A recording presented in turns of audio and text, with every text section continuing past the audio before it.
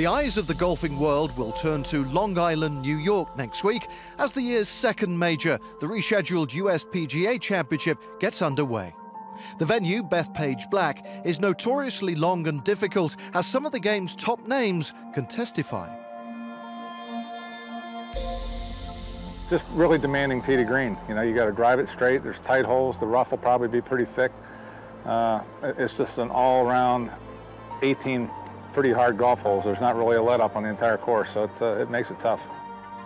It's a very long and demanding golf course, and uh, you know it depends on the setup and on the weather.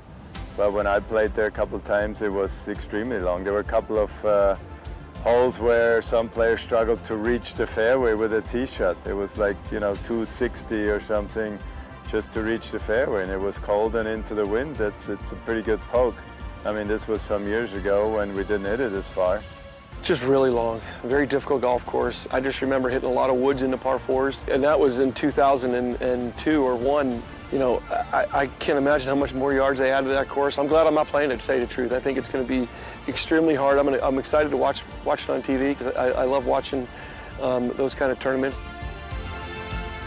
It is definitely a, a tight driving course. I mean, the, the rough every year has been very high. So, I mean, you've got to hit the fairways at a major. And, um, and that's probably going to be the case. And the thing about Bethpage, all the greens sitting very elevated, you can't run the ball up, so you have to fly it up.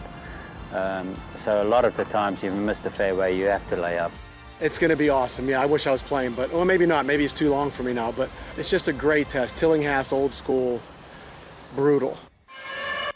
A.W. Tillinghast designed the layout in the mid-30s, and the Black Course, one of five courses in Bethpage State Park, is open to all members of the public.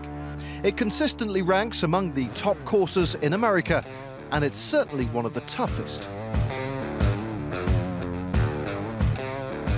You know, in May, uh, I'm not so sure. Last time I played there was uh, the U.S. Open, and uh, it was rainy and long, and uh, you know you got to drive it good. Obviously, distance helps. The course is very long. You know that's not a problem for uh, for most everybody out on the out on the PGA Tour. I mean, I still hit it out there pretty good, but but that golf course requires uh, a tremendous amount of length.